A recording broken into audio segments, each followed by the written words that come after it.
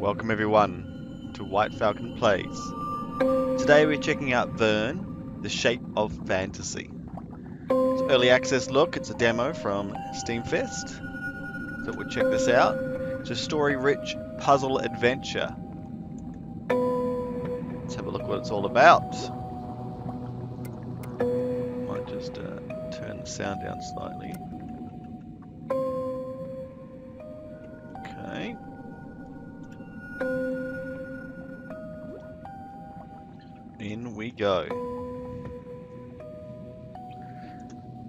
Slot. It is October of 1887, an alternate Earth called Hemera. You are Jules Verne, not the writer you know, but a scientist trapped in the middle of a dystopian world war. After a shipwreck and being cast away in a nightmarish mystery island, you have been rescued by a sea monster made of iron, the Nautilus. Inside the submarine vessel, the technology of which is decades beyond your time, you have met the brilliant but fearsome Captain Nemo and his crew. He is fascinated by the Image, an ancient device you found on the island, which has the amazing ability to change reality using the power of imagination. And it only works with you. According to Nemo, you and the Image could change the course of the war against the nation. To prove it, the captain will invite you to an underwater search of a secret kept by the depths of the sea for thousands of years.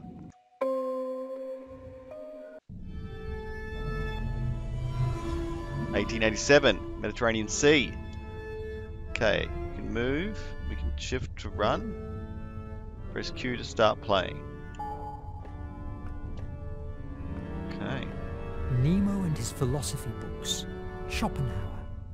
It's a shame that the nation killed him because of his ideas. Okay, I'm just gonna see if I can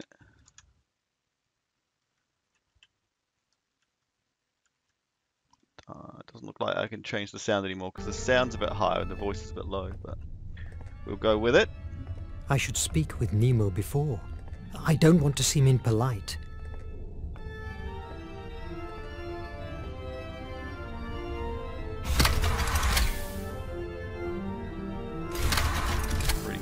Cool. Love the art style for sure. This katana was a gift from the Empire of the Rising Sun to the captain for his aid against the nation.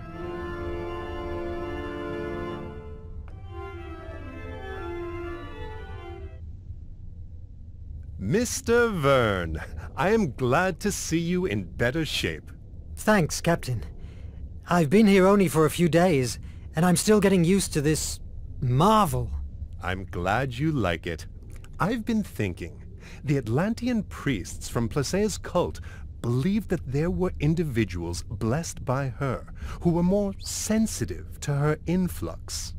Perhaps you are one of them, and that's why you were able to find the artifact of imagination. Atlantis? I thought that was a myth, a tale for children. You have had evidence of their existence in your hands. How do you make it work? I'm not sure that I make the IMAG work. Rather, I would say it reacts to events. That's interesting. Do you fancy an underwater walk? I have a job for you. A walk? Under the sea? Of course. Okay, look at this organ, that's massive. Very cool. Nautilus.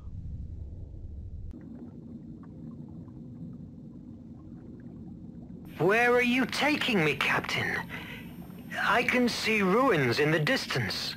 You are going to witness a great milestone of my journey. Follow me. Unlike other locations, you can't run under the sea. Okay. The steam oxygenator of my back allows normal breathing. Lead soles keep me on the ground, but they slow me down. But these views are so captivating. Cedric has asked us to find some specific algae for his research. I don't know if I could even recognize them with this helmet on. New side missions, hope. Find three algae. Okay. Pearl. My goodness. She's a beauty, isn't it? Really impressive. That pearl must be worth a fortune. Do you want to take it? No. I just wanted to show it to you. Who are we to interrupt a life cycle that has been growing for years, creating layers with each secretion it produces? Why? To sell the pearl? To write a book about the discovery? By chance, is our fame more important than nature itself? Let's move. Okay.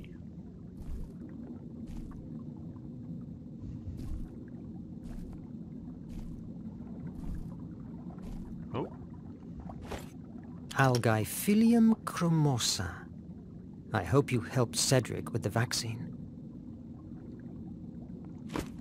Okay. One of three, maybe. Little crabby. Oh, It's like he's bowing to me.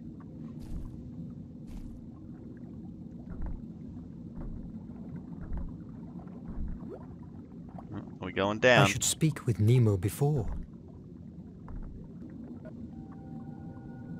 Can you feel the heat rising from underground? We must move carefully. Lava is still flowing among the ruins. Where are we, Captain? You are beholding the remains of a pre-Hellenic temple dedicated to Placea, the Atlantean goddess. What? We spotted it months ago. This cult survived the fall of Atlantis and thrived for a few years in the primeval Greece. In their mythology, they linked together the flame of Hephaestus with Placea. We believe there might be hidden information here about the flame location. Believe? Didn't you enter? We explored it for weeks in order to make a safe way to the center of the temple. However, when we reached the doors that guard it, it was impossible for us to open them. I'm surprised that you didn't blow them away. Do you think that I am like one of these brutes from the nation? I never destroy what I don't know. This temple is unique. It must be preserved, not destroyed. At that moment, we couldn't stay any longer. The Nautilus was needed for the war many miles away from here. But now is different. You and the IMAG are here. Fascinating. Okay. Might be uh, another one of these uh, quest items down this way, maybe? There I see the algae Cedric needs. The IMAG is an Atlantean, sorry, capable of detecting cracks in the reality, making small rewrites at specific moments in case things get difficult for you. Wow. IMAG offers logical choices. Explore the world to get more options. Select one, but be careful, not all of them have a happy ending. What? Big collapse. The stones couldn't hold more and collapsed.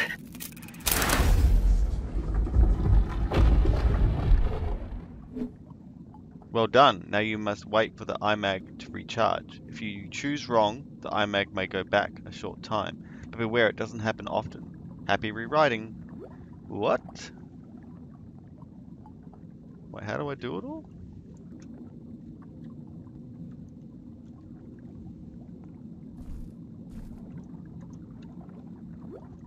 Uh, what keys have we got? Interact back. Open IMAG. C, which it just told me. Okay.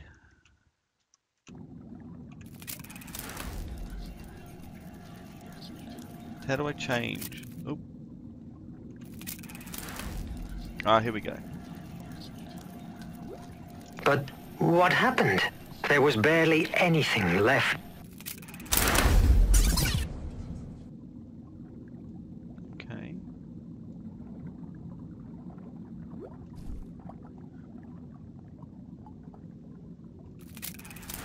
Does this work? A very thin base. Because I want to try and get to that, but I can't get in. Okay, I'll try again. The base was so eroded by the years of pressure that it finally collapsed. Ah, okay.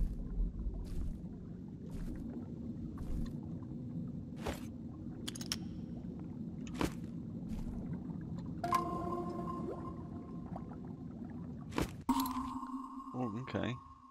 Passion for science. In the in the 1850 decade, as the audiences did, Julius Verne was enthusiastic with every new discovery brought by science, from fossils that showed glimpses of the ancient times and Earth to astronomy advances. Many writers, like Ed- Edgar Allan Poe and his pr- precise description of Antarctica from his novel The Narrative of Arthur Gordon Pym of Nantucket, 1838, were also inspired by the discoveries of their time. But Verne's passion for science stands out for its attention to detail and the, for the wide range of sub- subjects. One of the best examples of this is Journey to the Center of the Earth Voyage au Centre de la Terre, 1864.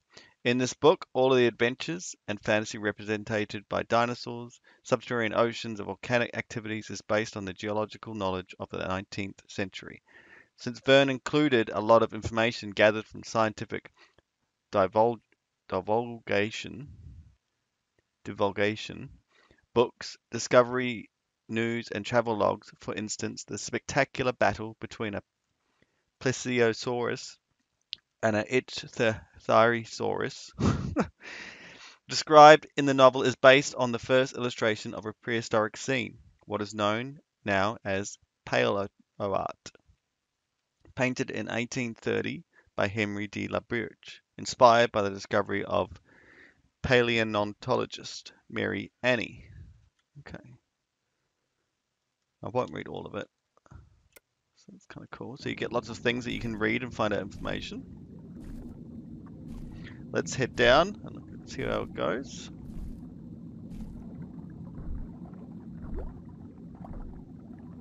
We might have missed one of our side quests, or it might be down here.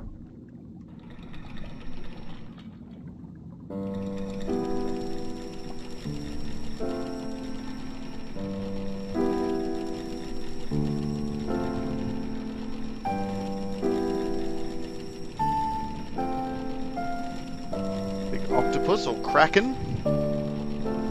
It's amazingly terrifying. True. In some cultures, the octopus and its tentacles are linked with the spiral of creation and creativity. Fascinating.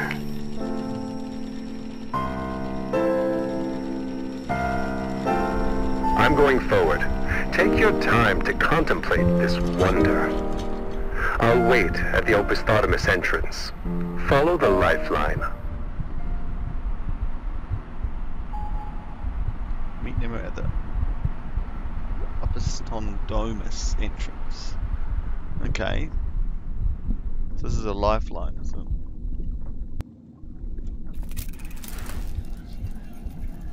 No cracks.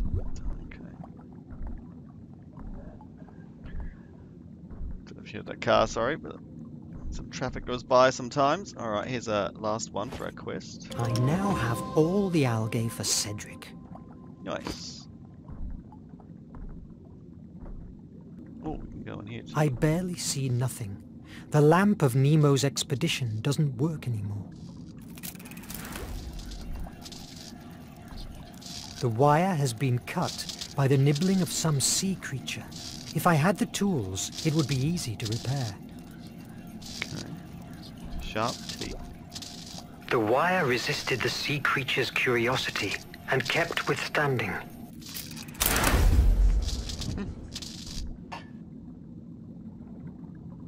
Seems like some object on its way to the moon? What kind of place is this? A Journey to the moon. Okay. Another piece of relic.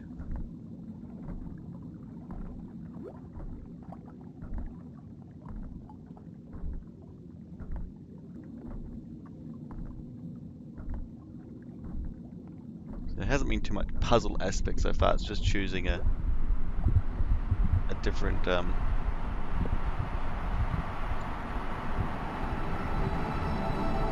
outcome.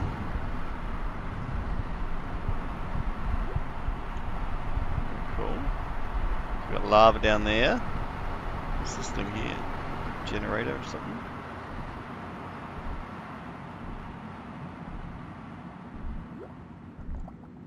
This ancient Greek tests my knowledge. But I can read that this is the first part of three of the Primordials' story. Okay.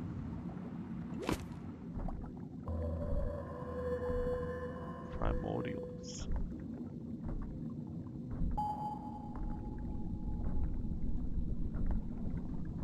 Is there something here? Something came up.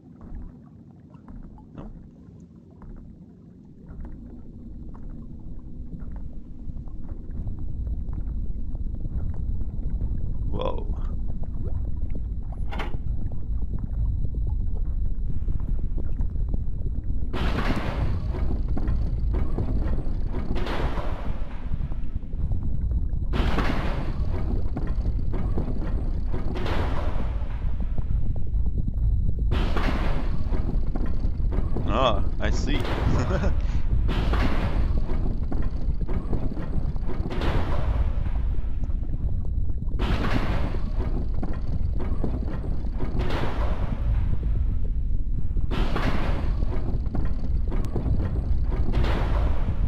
okay, across the nice sturdy bridge over the lava. This is magnificent. Aside from Nemo and his crew, I'm the first human being that has rested his eyes on these views in thousands of years. If only I could explore them. Pretty cool. So there's a whole city over there.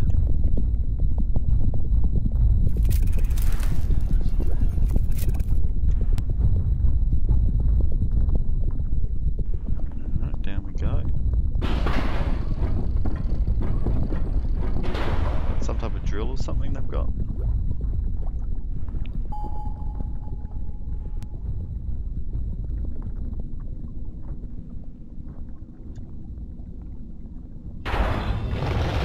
Fascinating. It would be wise if I bring a few more oxygen tanks.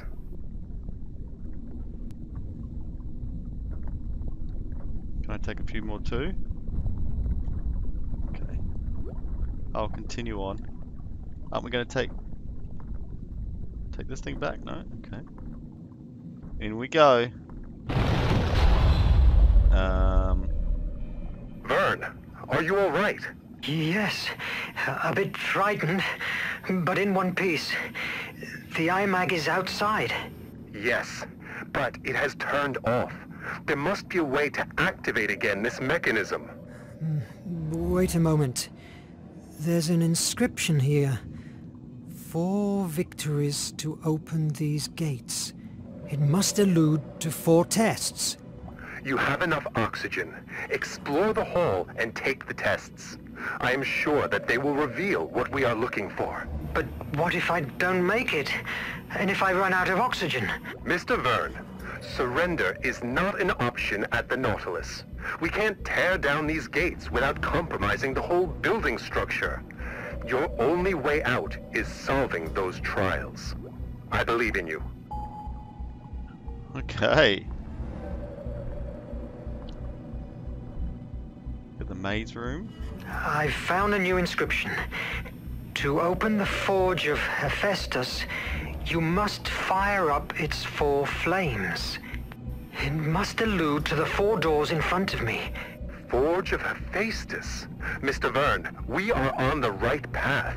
Go on. I feel heavy in this wetsuit, and it begins to be hard to breathe.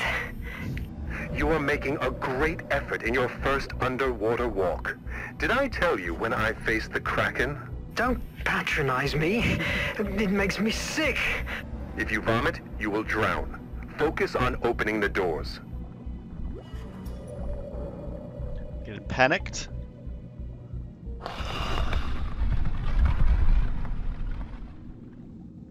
Okay, it's the maze room. It's open. See if we can solve the mystery. Very eerie silence. But awesome pixel art. In we go. I enter the first door. Okay, what we got? Farming. A volcano. What did you see inside? Wonderful things. Great description. A volcano on an island. Hephaestus's place, I guess. It reminds me of Prometheus's tale. The one who stole fire from the gods to favor mankind. Nevertheless, here is Placea, the one that steals the flame. This is Placea's myth. We don't know for sure what Atlanteans believe in, but the descriptions that have made it to us associate the flame of Hephaestus with Placea's ability of arousing imagination, being that the origin of Atlanteans' great power. Arouse imagination? You mean like muses do? Exactly. Okay, we've got fossils in the ground up there, lava flowing it through. Uh, here's the maze button. A labyrinth. I must rotate it to link the lines with the flame. Okay. Rotate is R and T.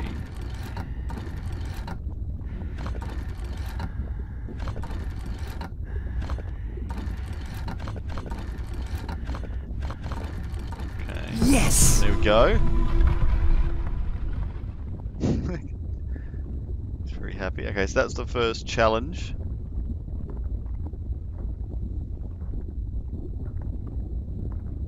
Not too hard, not too hard.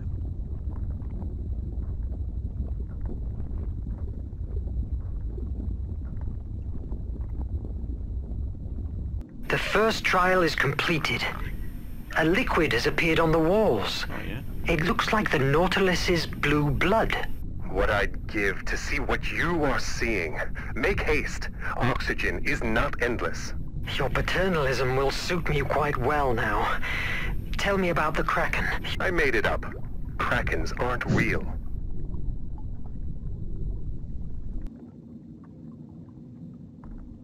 We'll do one more little puzzle here. From what I see and understand from these inscriptions, Placea ventured inside the forge of Hephaestus and managed to get his great flame. With its power, she expected to free mankind, providing them with the gift of imagination.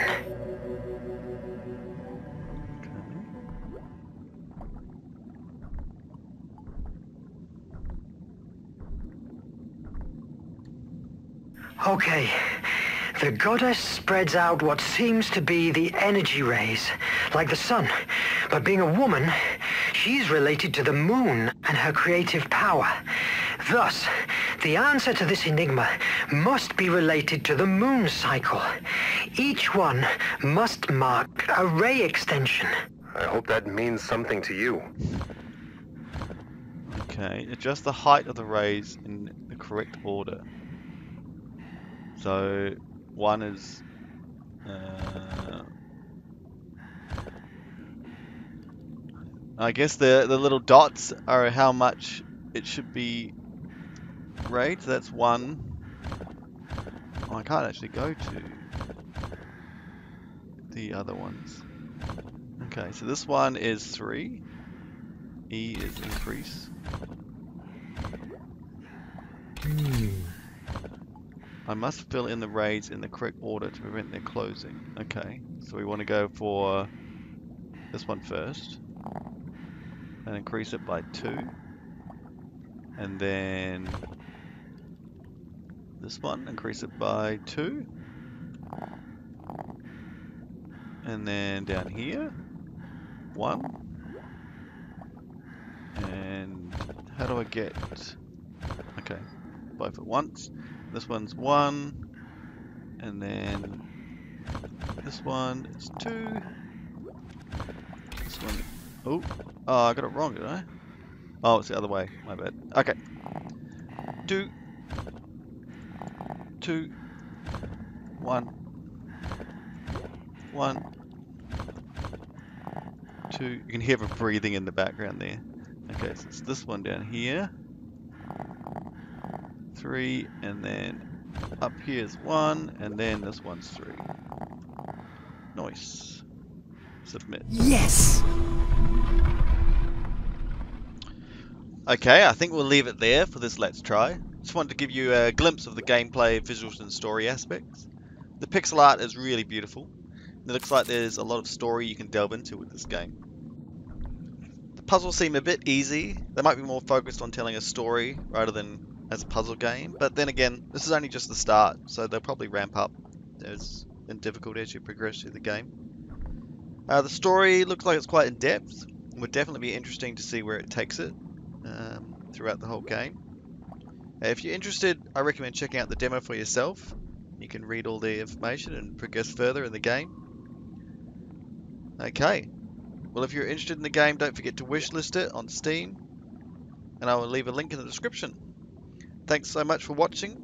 Until next time, White Falcon out.